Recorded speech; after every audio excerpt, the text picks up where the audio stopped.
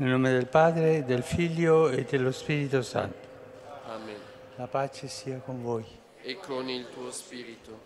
Il paradiso non è un luogo da favola, nemmeno un giardino incantato.